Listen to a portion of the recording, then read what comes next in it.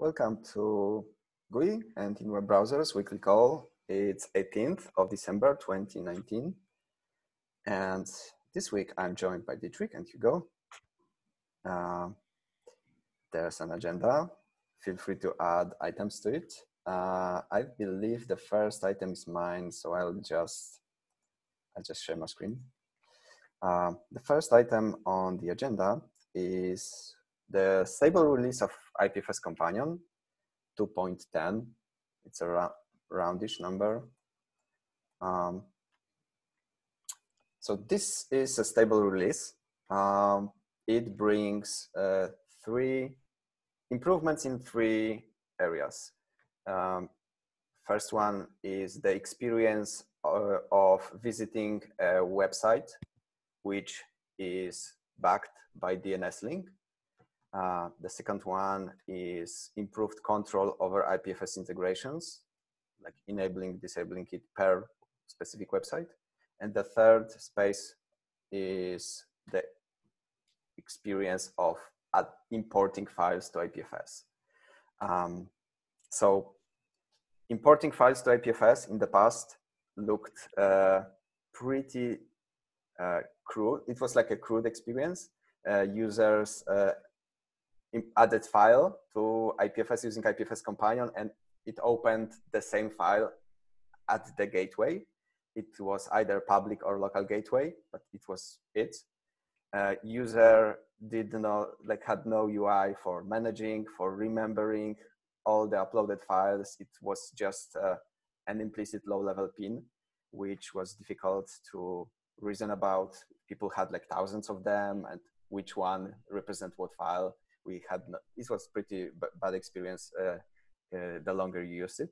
So we switched uh, our GUI application including like IPFS companion to MFS and now when you import file using uh, IPFS companions uh, interface on the menu using this one share files via IPFS or using the context menu uh, like click, right click on an image, select image and import IPFS, the file will be opened in WebUI's files screen. So in it, and it will also be uh, put in a directory uh, with a timestamp. You can customize the path.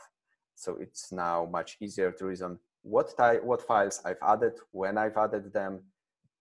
If you want to simply stop hosting some files. You just remove them from your uh, MFS using WebUI user interface.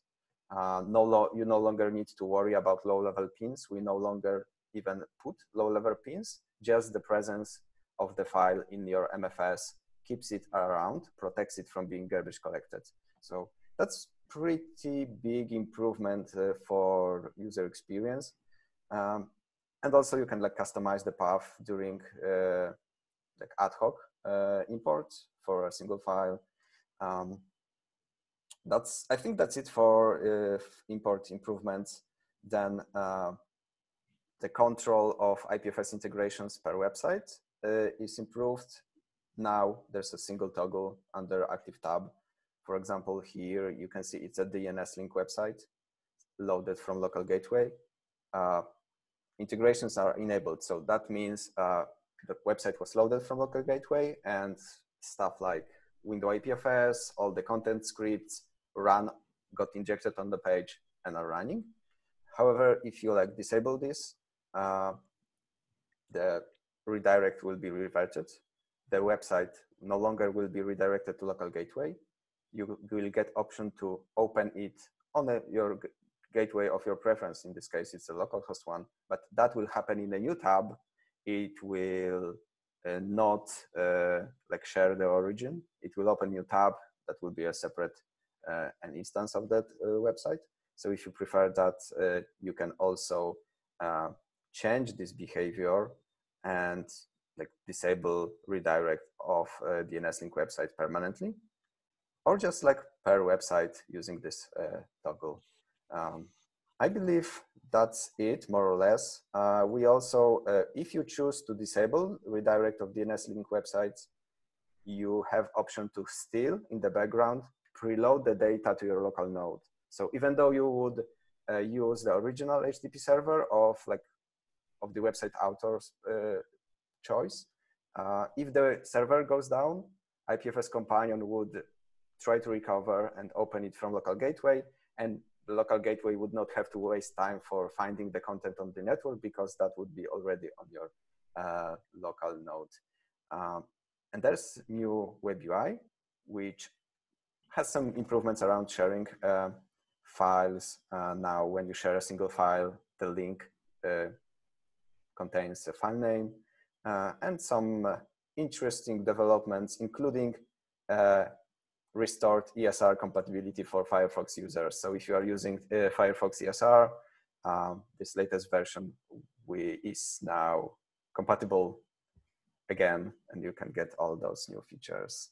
Um, I believe that's it for companion updates. Uh, oh, last uh, last thing to mention is you can install it today from Firefox store at Firefox uh, uh add-on store or you can wait about one week until it's accepted to Chrome Web Store if you are like Chromium uh, browser uh, user. Uh, details are here. I'll probably mention it multiple times, so people are already tired of me mention it. But it, if you install from Chrome Web Store, you will get the older version. Eventually, it will automatically get updated. But for now, if you want latest and the greatest, maybe consider switching to Firefox. Who knows? Um, I think that's it. Uh, any questions on on this release? Yeah, I had a, I had a question about the uh, so the MFS changes are are amazing. Like that is so so great that files uploaded are MFS by default. I had a question about metadata. Um, you know, there's been talk about adding metadata support at different places. Uh, the directory structure of the resulting of MFS ads here end up with these directory file, directory file, directory file, directory file, which is kind of a pain and not really how the experience that people have in Finder or Windows Explorer today in the regular file system. So what is the path forward for utilizing core support for metadata? When will that land? What part of that feature will be? And how will that, is there, is the goal here to migrate to that type of metadata system as opposed to this directory structure? It's a it's a good question. Um, it's a first tab, and the simplest way was to to make it like timestamp based. So at least you know when you uploaded it, and you can reason that oh, it's like a year old or like half a year old. I probably don't need this, this data around. Uh, when it comes to metadata, we like we are technically able to store things like uh, if it's imported from a specific website, like the original URL and stuff like that. We don't have a good place for storing that metadata. I mean, we could come up with some very thin JSON based file format and just like drop additional file into a directory. Um, mm, UnixFS as far as I know, simply just allows like so simple attributes. Maybe UnixFS v2 would allow more advanced metadata to be embedded within the DAG, but right now the only uh, way to add data, like meta, additional metadata is just like to add additional uh, file to the directory. It's an open, I'd say it's an open, uh, open problem. Uh, is it like uh, refining this user experience of how to how uh, file import should look like. I believe uh, IPFS Companion is the first GUI application or in IPFS ecosystem which actually does this. Um, so because like we we had to figure out where to put files and like putting everything on the root was probably not the best idea. So this is like the second worst worst idea. Um, I don't have good answer to this. Just uh, that it's a first iteration. Even the like timestamp timestamp based path is just like a proposal. We can change it in the next version. We can migrate users, uh, like the new users, to a new path. It, it's it's not like it's breaking anything if we change the default uh, destination. Um, it just uh, it just needs much more uh, uh, thought, especially if we uh, make this uh, change of adding files automatically imports them to MFS. Uh, there was the, there is a proposal by Alan, I believe, to like change like IPFS add command, the command line one, to IPFS import and make it instead of like do, adding low level pin by default, importing it to a directory in, in MFS like slash imports. And it's also like op same open question there. How should that directory structure be look like? What type of metadata do we want to store? Do we want to store like the path from which we imported the file? Um, so it's uh, I, I feel those are valid questions, but we should not like evaluate them. Excuse me, evaluate them uh, only like from IPFS Companion perspective. I'd say it's more important to think about them from that perspective of this command line core API v1, which will replace the current one. Uh, not sure if it's useful. That's how I see it. A, a, a long, a long and complicated road ahead. But it's already I, be better than just. It's already better, so much have, better. Having like hashes and pins. Yeah, I think from a from a from a design perspective too. I think we kind of having a goal like is it an explicit goal to have a files a as close to a file system like experience or not? Will help us kind of figure out what the requirements are. Um, and i guess you know like the tldr like my ask of this work is that we think about what that we decide what that di- design goal is so that we can feed the requirements back into the core. So if if the if we think that we want that type of experience to be possible then we should be telling the core teams what we need from Unix, UnixFS v2 or what we need from JS IPFS and Go IPFS to be able to implement, be able to do these things.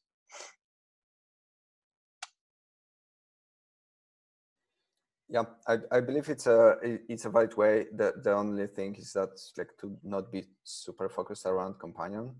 It's it's more sh sh we should focus on the the command line one and then uh, adjust implementation in companion.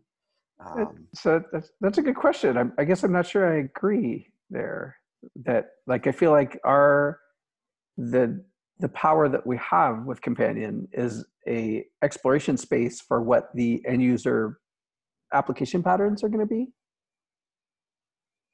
And the command line experience is not can help us flesh out what those needs are. Oh, oh, oh yeah. Sorry, sorry. I, I, I probably uh, I skipped a few sentences which I had in my mind. What I mean is the uh, the pro uh, the key problem that this release of IPFS companion solves is the situation when someone uh, learns about IPFS and they like oh they add a file from the command line IPFS add file and they don't see it in web UI, right? Uh, so yeah, so it definitely addresses that problem. Yeah. Yeah. So the user experience uh, I have in mind is this entire like this path. When someone adds from the command line, it should be visible in the web UI, and it should not feel too different to what Companion is doing right now. Uh, so it should be, be like like remove complexity. It, it's just added to IPFS. People should not think that it's like MFS uh, it was just imported and I can like manage it. Uh, right. Uh, more on that in the future. Um, next topic, uh, maintenance of uh, IPFS public gateway checker. Um, I can like quickly share screen. It's something I wanted to mention that there's this community list of uh, public gateways and it simply checks which uh, gateway is up, which gateway supports uh, CORS header and stuff like that. I, I, see probably my PR got merged because it looks different.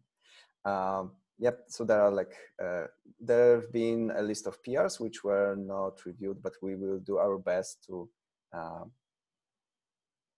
get to those uh, in more timely manner. not sure if uh, there's more to add uh, to that.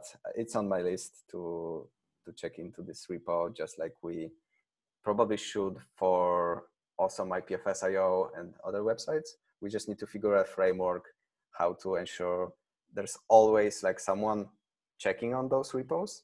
Uh, it's just like yet another repo that we we have. It's like under IPFS uh, org for historical reasons, but it's actually like IPFS shipyard. It's like community uh, driven, provided by community. We don't maintain those gateways. Those are just like volunteers uh, providing their uh, server servers and bandwidth. Um, and we should like we, we should make a better job uh, it out how to be a better steward to those uh, public resources. Um, Is there?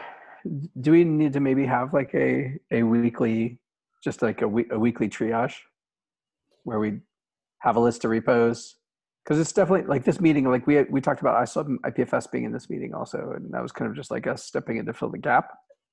But there might be from a community perspective like a a broader IPFS community issue triage to make sure that these repos are are not falling behind I've ex- yeah my thoughts exactly what I've been thinking. It's sort of like a like we, we had uh, the, those types of uh, waffle boards or like Zen boards or maybe like GitHub projects will probably be enough.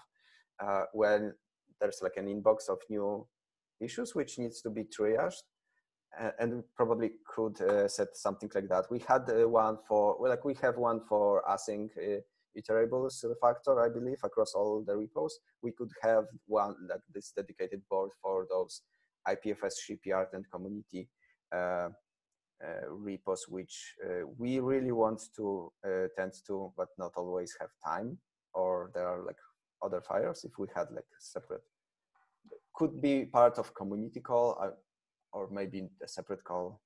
I don't want to, but it, it, it's something to think about. Yeah. The IPFS community manager job description should go live in the next couple of days and I think that would be uh, like the definitely the role that would maybe help drive some of this. But there's this projects like this are kind of in between. Like it's not awesome IPFS is definitely more on the community end of things. Public gateway checker is like okay, are people people operating gateways are definitely part of our community, but it's a very different roles, right? Um, and they're maybe not contributing to people that are contributing to the core so it's kind of both in support of broader adoption stuff around public gateways, but also community.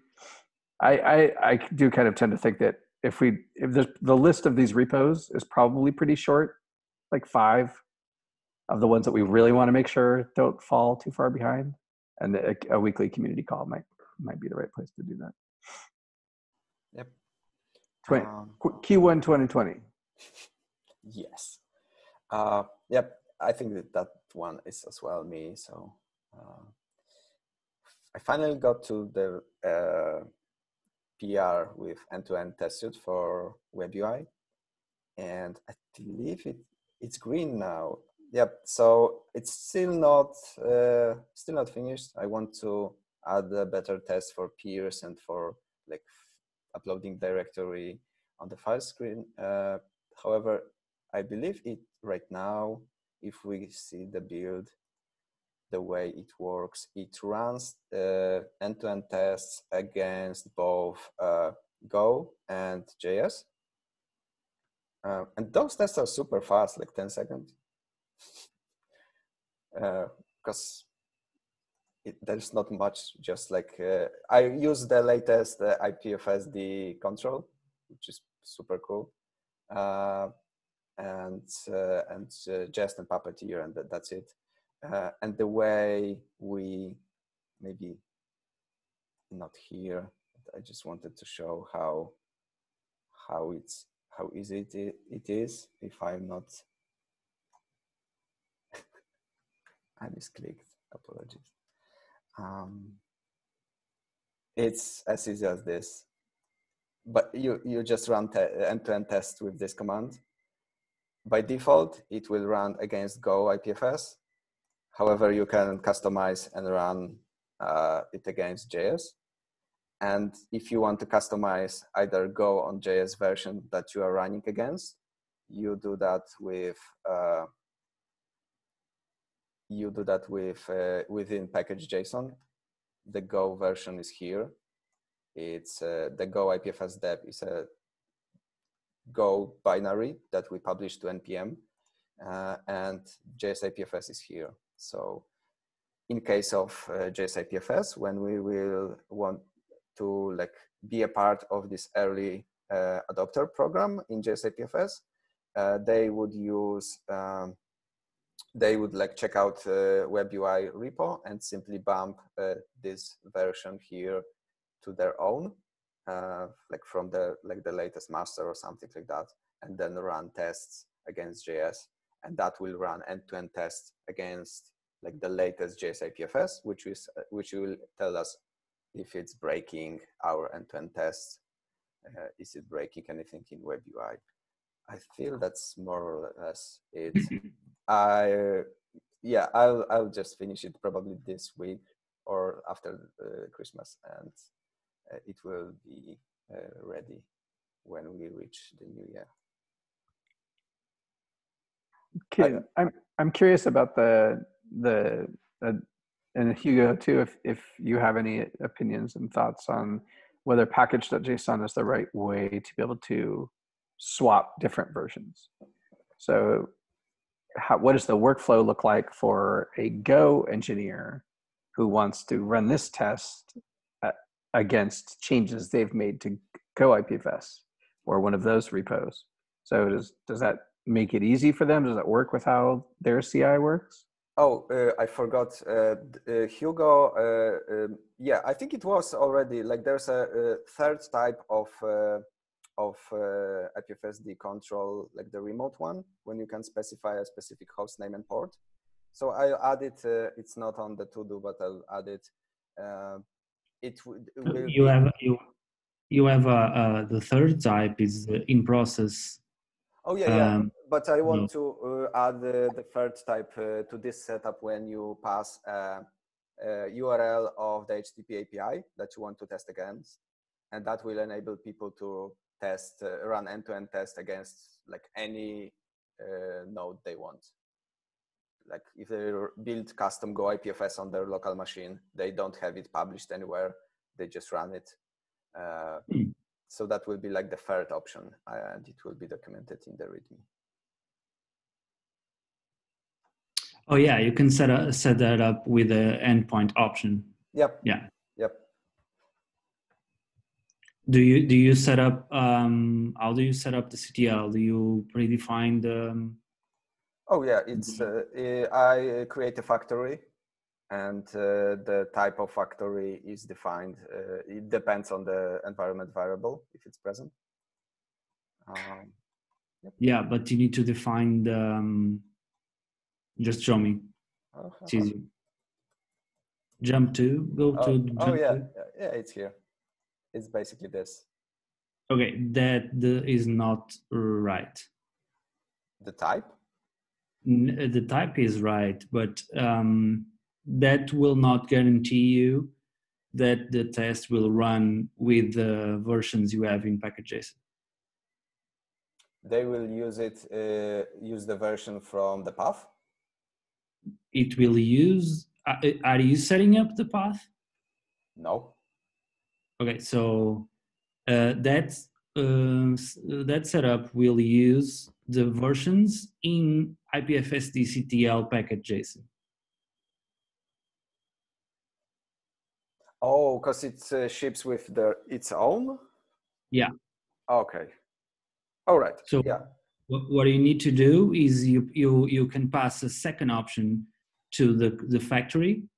Yep. Which basically overrides by type and you can set up everything for each type and then uh, when you spawn yep. you just um, you just uh, you get the options predefined okay. yeah previously. I, I think I've uh, I've seen how uh, they customize the, the JS IPFS binary in, JSIPFS tests uh, to run against Yeah, the, the yeah, local. yeah. yeah, yeah, yeah, yeah. So I'll, I'll do that before uh, I finish the draft of this PR.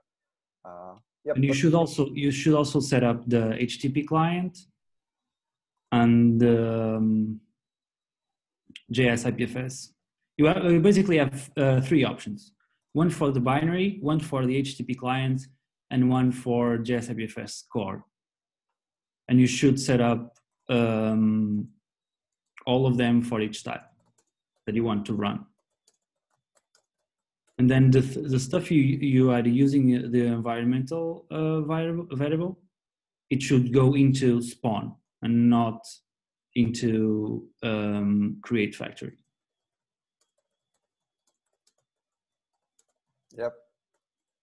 Will do. Thanks.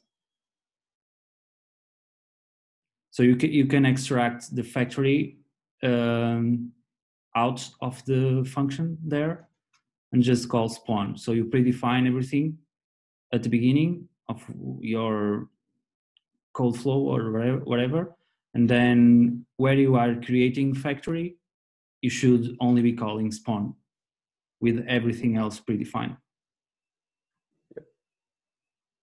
Will do. I'll probably mention you when I'm like ready with the PR, just to double check. Thanks. Um, next one is Opera build. Uh, real quick before we leave testing, uh, let's see. I, for, I think this was on the Q4 OKRs. The specific item. I can't load it right now. Um, so can you add a add a note and do the final scoring there if you haven't already? So I think uh, Oh. this is the kind of the patch of getting the test up, but I th- I think we also want to get that into CI as well, like have this running automatically. And I feel like we haven't figured out where when we want these tests exactly to run. Like it should be in the Go IPFS CI, it should be the JS IPFS CI, it should be in the CI for when we make changes to this code as well. Uh, it's like the PR already has update uh, for the CI of the web UI repo. And when it's merged, I will, I will PR at least JSIPFS one. Um, with Go, I, yeah, I, I'll, I'll figure it out. Probably when I make changes Hugo described, uh, I'll also. yeah one more thing this is uh, this is running in chrome right with puppeteer Yep. so if you are only setting up uh, the type go and type js this is uh, doing a remote daemon uh, a remote um, a remote daemon uh, controller so you should add a third type so you can test the um, JS IPFS instance running in the browser. Mm. Oh yeah, in, in the same context like in uh, IPFS companion. Yeah. Yeah. Yeah, but I think like for like developers, uh, just like Dietrich mentioned, the the remote one is probably the the most useful when you're just Yeah, they, they either change the, the, the package JSON or they provide um, the, the API endpoint with a, a an environmental um, va- variable, right?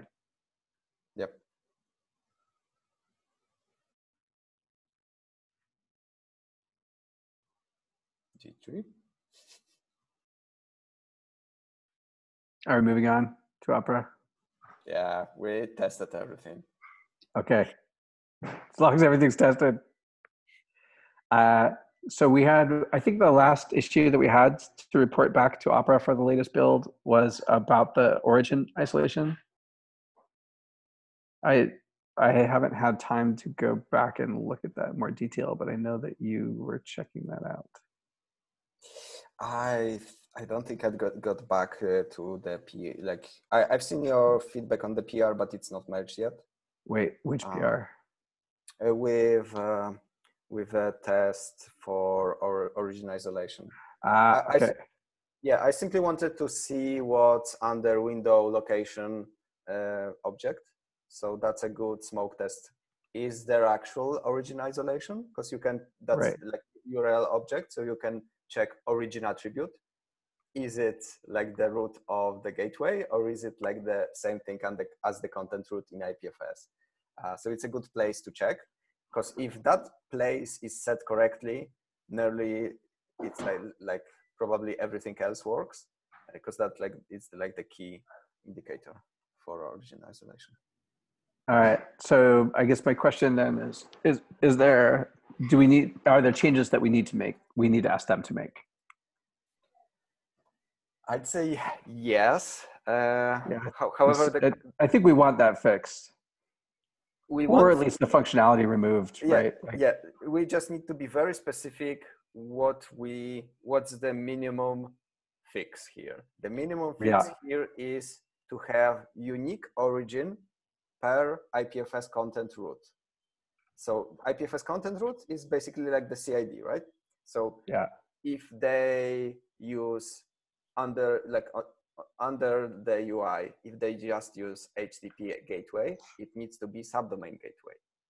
If they implement native protocol, the native protocol itself should use uh, the CID as the authority component of the URL.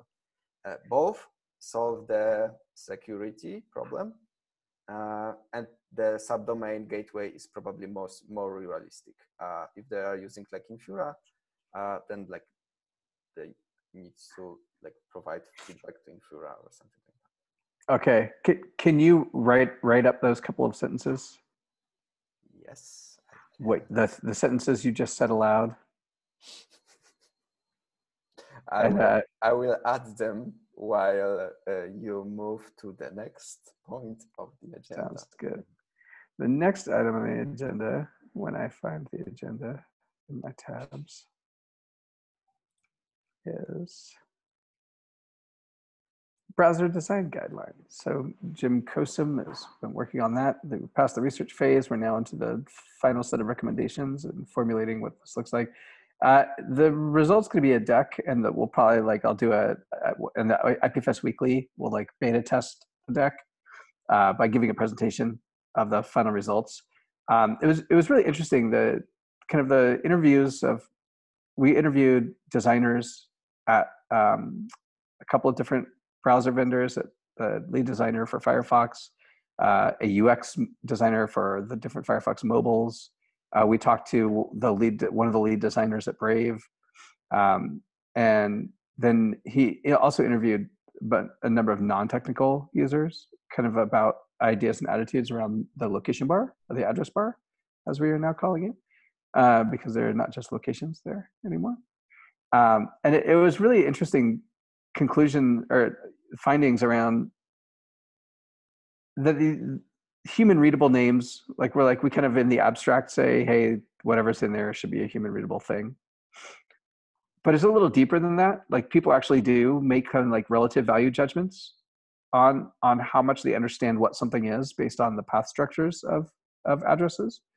Uh, you know, things like even if you're not technical, you understand what like blog slash 2020 slash 01 slash 13 slash my new blog post. Like you can look at that and at a glance understand, get some understanding and value from what's happening there, even if you don't know what it means. Um, so there's like when people look at the URL bar, they might not understand what it means in terms of a network operation happening, request, response, uh, whether it comes from one server or many, uh, whether it's what a 404 means, and why, like, so there's a lot lack of understanding from the technical aspect, but there's also a lot of cognitive uh, processing that happens of the location bar. Uh, people know padlock is good, green is good, but they don't understand the underpinnings of why. Um, and this makes the design question around what padlock alternatives would be really important. And that's kind of where we're at in the in the process now is synthesizing the results of that research in order and then using that in the context of what IPFS means when it's IPFS colon slash slash in the browser. Um, you know, we're, we're talking about well, like what is the distinction between transport level encryption, but an absence of a DNS based trust model? Well, uh, combined with the cryptographic verification that means that nothing was man in the middle. So, or uh, also, how do you visually communicate the fact that if something loaded at this address with IPFS, it is the only thing that ever will load at this address, or nothing might load at this address. It's either this or nothing. Yeah, like like the people don't have a concept or even like language around immutability. Right. It's like a super important property which we just don't have even visual language or even Yep. like language. No. Like, so we're talking about things like e- part of this might even be like put going to the thesaurus and giving a little word cloud for each one of these things. So like, you know, currently here's what the lock means. Um, how would you show this differently? Like, would the lock have a, a little badge on it with the number of peers connected uh, at the time? Do you have a constant view of how many peers are connected? Do you only show where the peers are connected when somebody's looking at IPFS resource? Um, do you do you make changes to the lock color to identify that transport level encryption happened, but there's no business registered with the SSL certificate? So right now, like there's a lot of like the the way that browsers approach communicating this is really relies on DNS as the trust model for that encryption. So you have transport level encryption, but ultimately the trust model ties back to the fact that the SSL certificate ties to a DNS registration, and the DNS registration is tied to a physical address that you can mail something to or that you could drive your car to and walk up and knock on the door. And ultimately, that's fake. That's false, right? But that's the only fucking thing that browsers have. And it's So, what actually- is it? It actually does not need to be an address. Like if you are using like Acme, you just I, exactly. I know. Like, so we have this collective, like, fr- from a from a from a browser security engineering though, and an internet security engineering standpoint, they they do lean on that. Like that is that is all we got, and they understand that that's that like we're working with what what we got, like, uh, and that that that's we don't have another alternative. And the alternative that IPFS presents is is challenging because while we guarantee transport level encryption, so we have transport level security from that perspective by default in IPFS, right?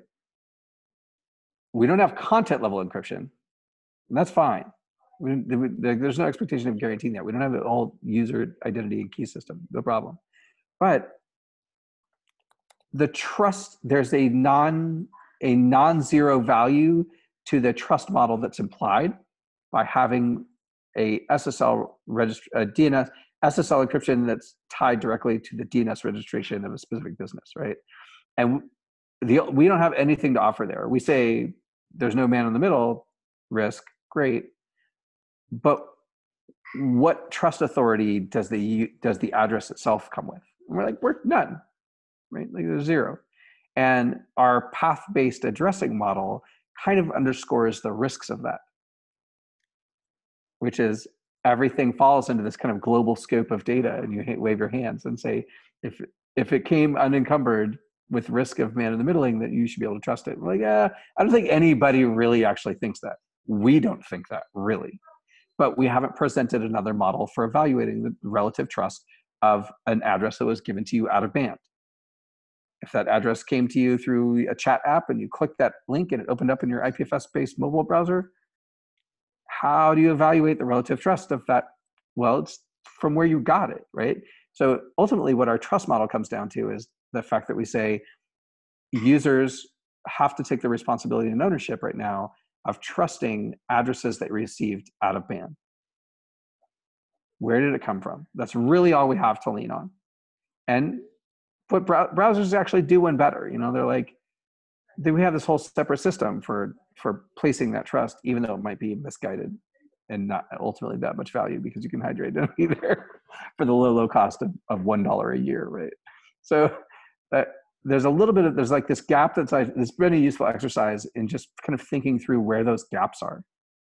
Um, we can't pretend like we don't have them, so, and it, in order to be able to close those gaps or at least minimize them, it's really important for us to acknowledge that they exist.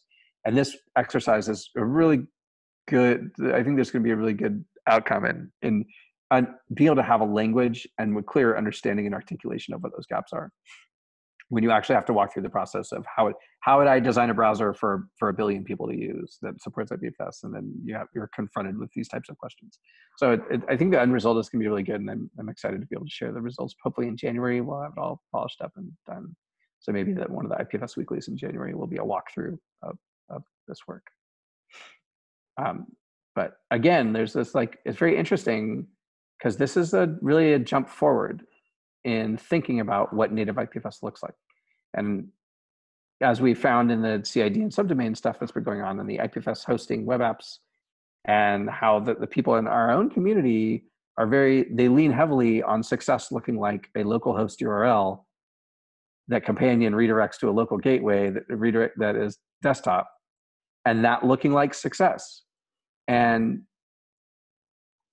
if we want to if we want to leapfrog that to like uh, being able to set ourselves up for mass adoption, we need to be able to visualize what native IPFS actually looks like, and actually what the what the relative risks are, and designing for it is a good exercise in doing that. So I feel like we're, we're going to have a, there's a lot of side benefits of doing this work in helping us reorient how our own community thinks about what IPFS success looks like, and it's it's complicated.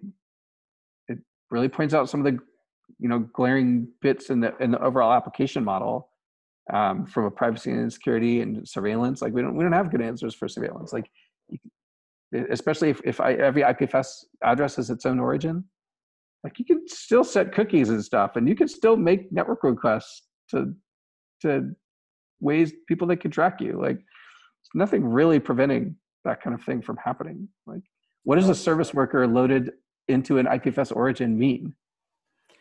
honestly you don't even like even if you like don't don't think about browser context like the distributed mechanics make it e- like there's actually it's easier to track who's interested in specific content yeah um, so we need to be able to have and it, we need to be able to have a plan and a and a story around how we communicate those relative risks if if we want to you know have have browsers at the billion user or even 100 million user level consider adoption of IPFS. So this is some front work way in advance of solving those problems later and hopefully setting us up for a more a clearer and more honest understanding of where the gaps are in the technical solution as IPFS so that we can fix those earlier rather than later. Um, so fun, fun stuff.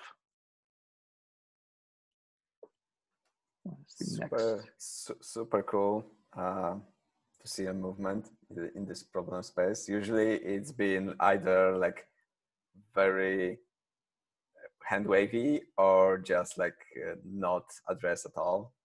And those are super hard questions, uh, given like the history of the, the, the mental model around secu web security and uh, and how different our security guarantees are right now. Yeah, I think I think there's a there's an exercise to be done in trade-offs too. Like like all all of security and privacy is, is a question of trade-offs anyway. And I want us to be able to really clear about when we're making when users are presented with the options of, of trade-offs there. So a user might say, I under I am aware that this content is not sensitive and therefore I, I am taking down my tracking shields. I don't care how many people I get it from. I just want the image to load, and I am choosing local network reliability and stability over broader tracking guarantees. But like that's a that's an option we should let people make. And I looking at IPFS choices through the lens of those types of trade-offs it will help us understand the user better and what their needs are and what the context under which their decision making is gonna is gonna happen. But there's still a lot of a lot of work to do there. I feel like this is just the beginning. Yeah, it's uh, it's interesting how some lessons could be learned from uh, from the old web, like from like existing HTTP uh, system when we there's this problem of like man in the middle or like centralized servers and uh, like projects like tor and tor browser uh, like providing a different set of guarantees uh, to like users who need uh, them, and they, there's even like a slider, which is like gives a convenience versus like speed. Um, we probably will need a version of that at some point. Um, more on that in the future, I guess. Um, also, my IPFS triage. We Should we do? yeah, when we talked about it, we got a few minutes left. Um, should I share my screen? Sure. Am I sharing my screen? Uh,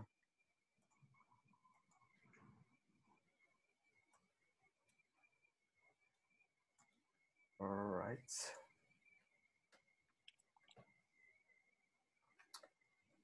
All right. Temporal. This one is familiar. Yeah. I think I commented on this. There's Uh, oh, I know. I commented because I had no. I still don't have merge uh, rights in this repo. that makes triage a bit harder for me. Uh, yeah, I, I already like gave uh, thumbs up for this because it's like meeting content policy. Uh, there's like a free tier of their gateway. I believe. Let's double check. all right. You have merge rights now. Do I?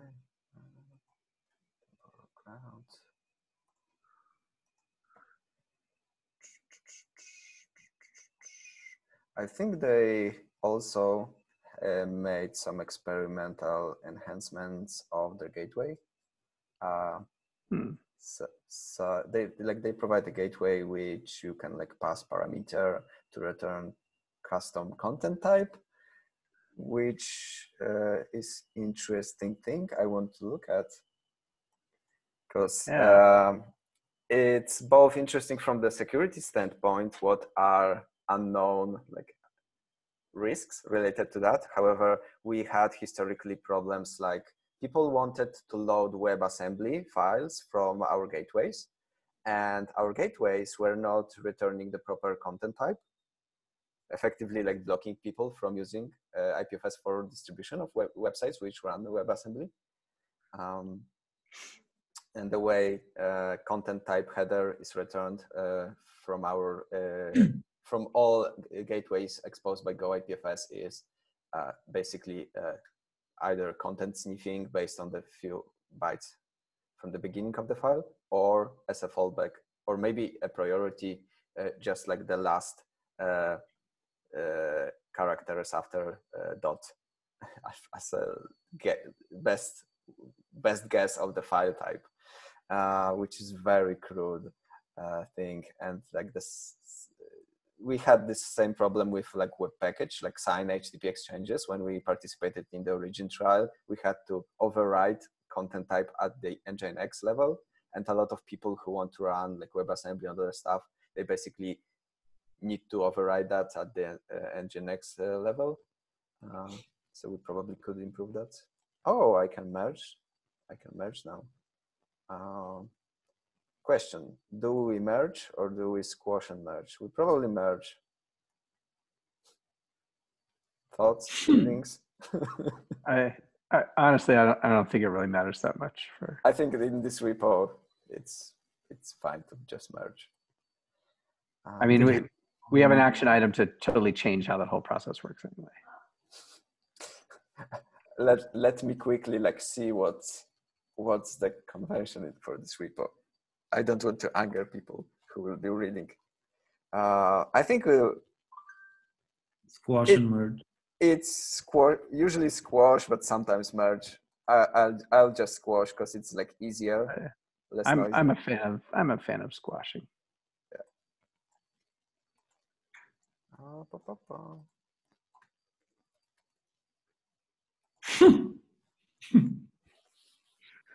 Smiley faces. Uh, all right, guys. I think we got like three minutes, so I don't feel it will be fair for the next one to rush it. uh, Yeah. but, but we probably should spend more time. Maybe like when that uh, recurring call for those types of things happen. Yeah. Uh, I got uh, permissions now, so I have no excuse. All right. It was nice to see you both. All right. See This you. see My, you my favorite meeting of the week. see you in January. This time for real. There's no meeting next week, and for the next next week. See you in January.